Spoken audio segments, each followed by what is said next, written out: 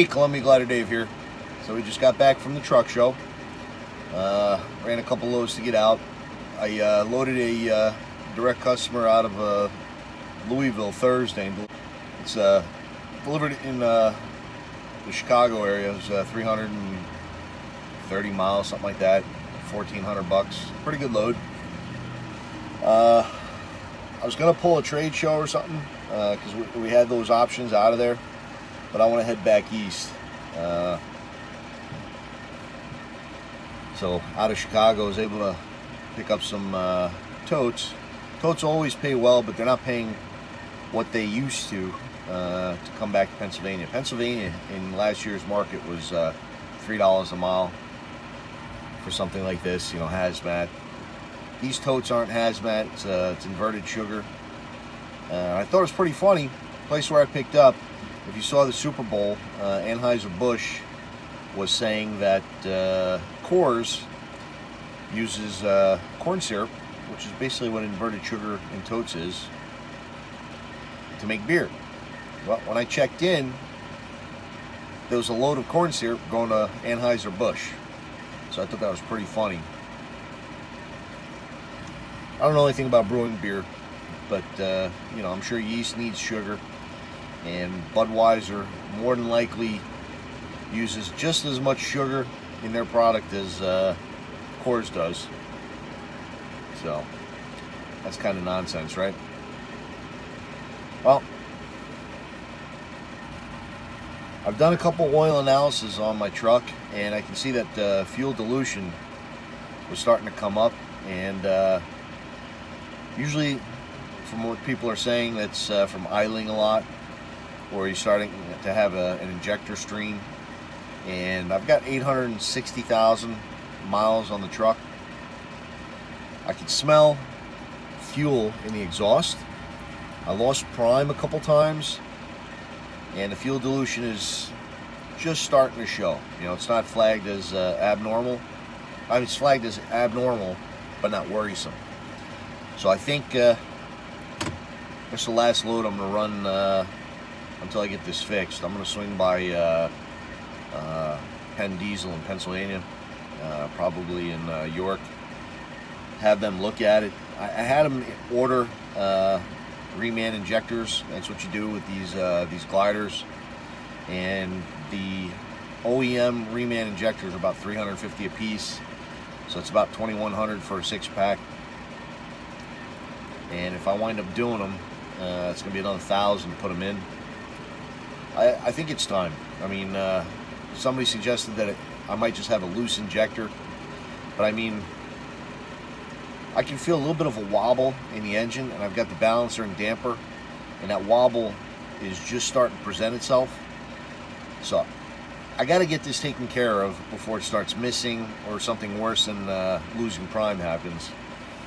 So that's the story with the truck. I think it's a smart decision. Um, the truck also has uh, pretty good uh, resale value because uh, they changed the rules again on gliders. Uh, places that make gliders can't make them in the, in the in the volumes and quantities that they used to. So my truck, if you were to go to a dealership with this sort of miles in this condition, would probably retail for about forty-seven thousand. So I think it may be time to get out of the glider and get into one of these uh, new trucks before the emission standards change again. Uh, I think it's probably a good idea. Uh, I'm looking at uh, you know getting into a 2019 or I don't know if the new emission standards start in 2020 or not. Uh, it sounds like it does. So that was part of the reason why I definitely wanted to make uh, this truck show because the trucks were going to be at the show, which they were. I didn't see any Freightliners though. I walked around the whole show, so I don't know if Freightliner was not there. Western Star was there. Um, as much as I want a DD15, it's not enough room in the Cascadia, in my opinion. I've, I've driven one. I liked it. Uh, but if I'm going to do a new truck, I want a big bunk. So the three trucks I was looking at was uh, first the Peterbilt Ultraloft. The second truck was the Western Star, the 5800 uh, EX, XE, whatever it's called. And the third truck was uh, that 680. And I got to tell you, you Swift drivers in, in that uh, in that Kenworth 680, man, I don't like that truck. Um, all the shelving drawers that you pull out, to me they seem like Rubbermaid uh, trash cans, very flimsy, just very low end for, for a name like uh, Kenworth. And if I did uh, Kenworth, it'd be the X15 Cummins. So that truck I immediately ruled out as an option. Uh, I don't know how you guys feel about that truck. The Ultraloft, I really, I really liked it. Uh, I mean, it looks good on the outside. Looks okay on the inside. I don't like the way the top bunk folds in those Peterbilts folds in half. So it makes like a like a weird shelf when you fold it up. And if you have a mattress in there, it just kind of pushes it up and out of the way. And didn't like that. So it looks like what I'm probably going to shoot for is a, uh, a Western Star 5800. I mean, it's a beautiful truck inside. It's like a hotel. It's, a, it's the biggest bunk uh, stock out there, uh, I believe, 82 in, at uh, 82 inches. And uh, like I said, it feels like a hotel room.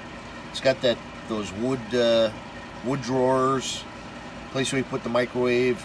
Looks nice. Just everything seems put together right in that truck. I don't really like the way it looks outside, but if you do certain things with it, like don't get the uh, chrome inserts on the side of the skirts, and just maybe put your company logo, you know, down the side of the skirts. Uh, to me, it looks pretty good. Now, the truck I saw out there had a, an APU, uh, a Dyna something or other, and they put the condenser, which was weird. It's got a honeycomb uh, insulation, you know, honeycomb pressed in between sheets of aluminum in the back wall. Um, so the guy put the, con the condenser underneath the cab, so it kind of bounces and almost hits the, uh, the drive shaft. I'm definitely getting an APU uh, when it's time to get the truck. Uh, it's just a matter of when I order it and stuff. But that to me doesn't look like a very good option. So I got to figure out, I got to start looking at the CR England trucks and the other trucks that might have APUs and, and, see if they are putting it on the back wall. Didn't make sense to me. The dealership that did this, I believe, is out of Iowa, uh, Des Moines, Iowa. Uh, it's not the Freightliner. I think there's a Western Star in Des Moines, Iowa. Uh, but I don't think I would mount it below the uh, the cab. Uh, um, just got to figure out if it can be mounted to the uh, to the back of the cab. I think it can. I think you just have to insert, uh, you know, put in some inserts or something that you can screw into. Shouldn't be that difficult. I like that truck, man. That's that's a beautiful truck. And I thought I was to get a 13 speed. I've driven the the 12 speed, the 12 speed automatic that they put in a DT12. And I've got friends that uh, are looking to do the same thing. They want the automatic, and they may talk me into getting an automatic. What do you guys think about that automatic, the guys that are driving it? My concern is if I keep it to 800,000 miles, at some point it's going to fail. And I don't know if people are uh, able to repair those cost effectively quite yet. I know the I've seen uh, the, the older styles of the automatics when a XYZ shift or whatever it's called goes bad, they have problems and it's very expensive to replace. So I'm still on the fence about that. It was a great show. Uh, didn't see anything new. After about uh, four shows, there's not much new technology out there. I would definitely recommend going out there just to meet people. Uh, as far as technology goes, there's nothing really innovative or new uh, coming out lately. And next year, there won't be uh, any new trucks because the trucks come every two years. So I think Dallas, they might be out there next year. They weren't out there uh, last year. I don't want to say last year. I mean next year. The one coming up here in the summer. So I may go to Dallas. I'm on the fence on that one there. Uh, what else? I don't know if you guys ever done uh, escape rooms. I don't know if you know what that is, but uh, we got together as a Patriot Star group and you show up at a place and they make uh, puzzles and stuff for you to figure out. And you got to figure out how to open locks and different things. Uh, and there's a story being told. And they usually give you about an hour to get out of the room. So we got out of there in about uh, 52 minutes, which was pretty good. Only used uh, two, two uh, free clues. Usually if they give you clues, there's penalties involved with that. Uh, when we made it through the, uh, this one was uh, three rooms. Got out of the first room fairly quickly. Got a little hung up on a couple clues in, in the bigger room.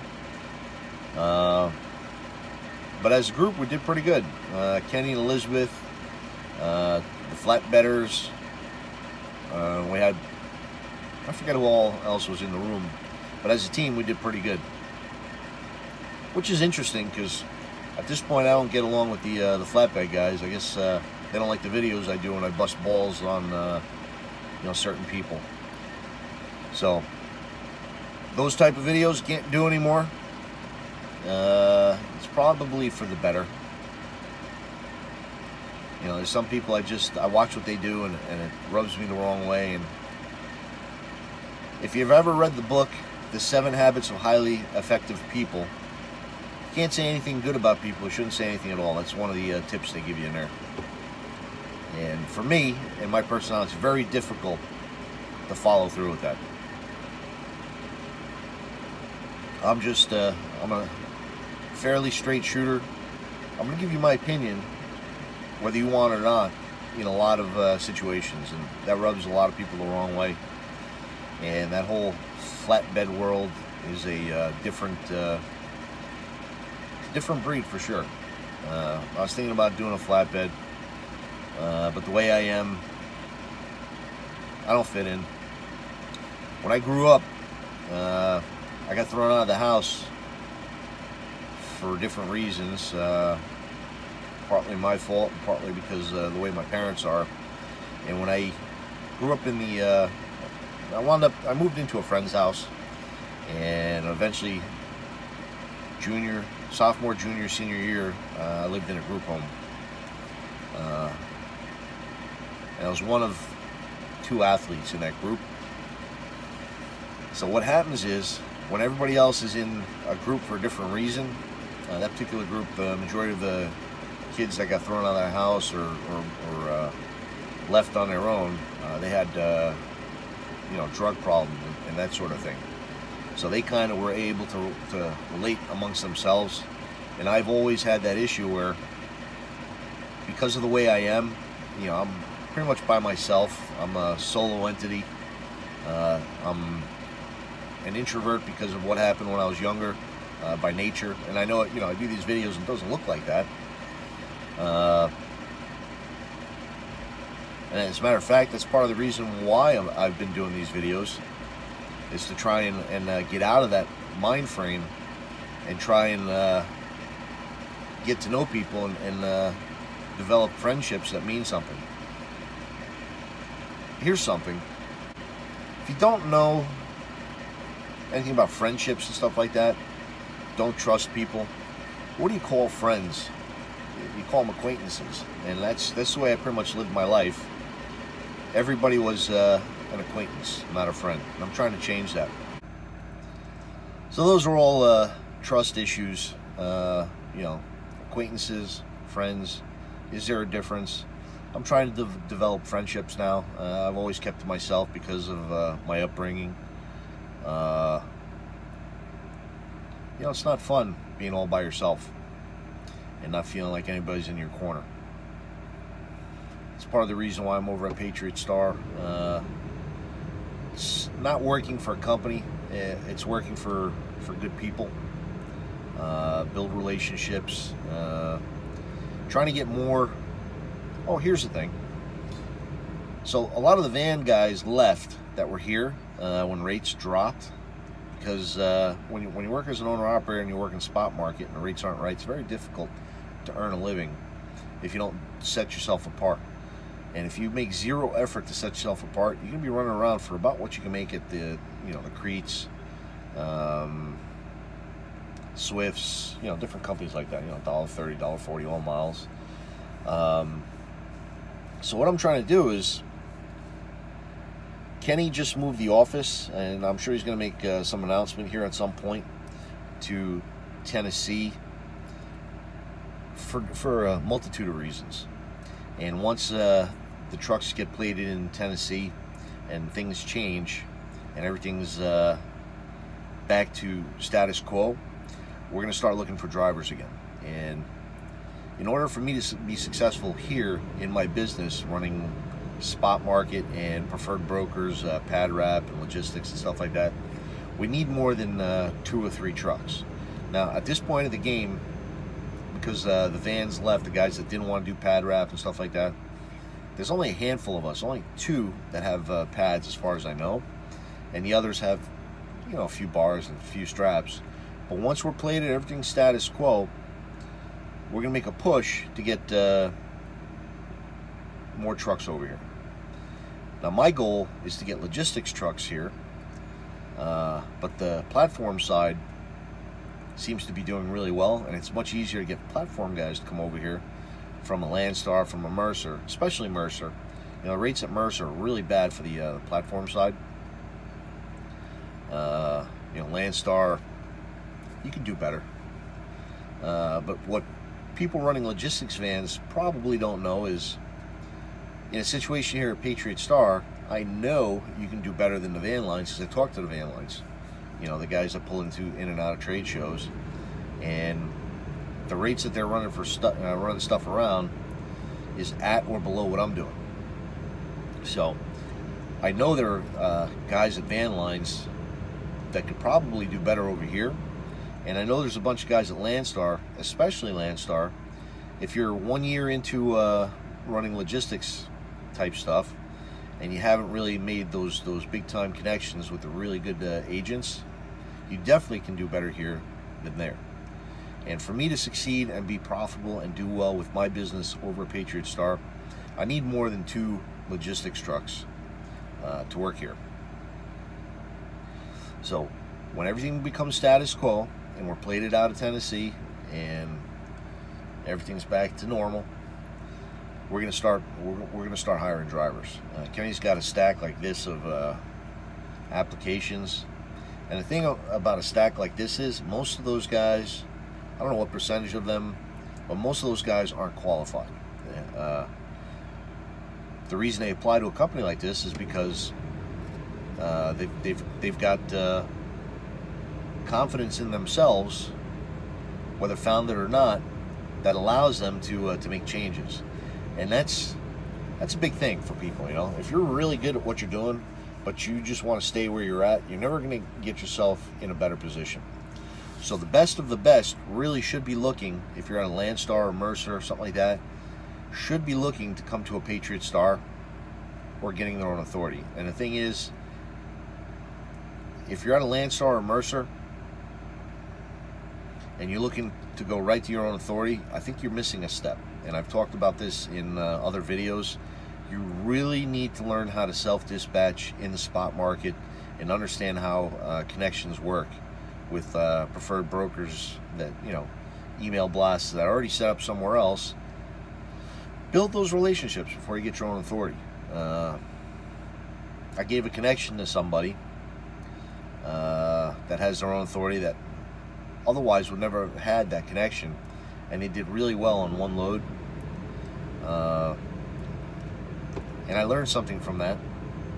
You know when you when you give somebody a connection you got to be really careful who you give it to uh, because you know they, they could burn your connection to, to that uh, good paying load you know th those those loads that are out there. But uh, this particular individual did a really good job uh, for that broker and I, th I, think that reflects on us uh, when somebody does a really good job but other than that that would never ever ever in a million years ever happen and why is that? Because you don't want to give your best your best deals to other people because then you lose opportunities at revenue. So that should be kept, you know, in your pocket. You don't want to share those kind of connections with other people. People get jealous. Uh, and it can be messy. You know, this particular person said something to someone and it blew up in their face, you know, because they were happy, they were excited about doing this particular load. So there was a lesson learned there. Don't don't share your connections with uh, even your best friends. Uh, it can backfire on you. Don't do it. That being said, it was a great truck show, and uh, we're back here in Pennsylvania. Gonna have to spend 30 $3,200, something like that for injectors.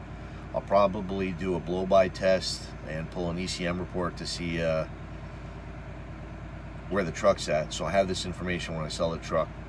I'm thinking about doing a, uh, a lease purchase or an outright sale on this glider. This truck is in phenomenal shape, but I want to be able to run California. If you'd be interested when everything becomes status quo at Patriot Star of doing some sort of lease purchase or buy this glider outright, uh, drop a message in the uh, contact uh, in the uh, comment section of this video and we'll keep you up to date on that. Columbia Glider Dave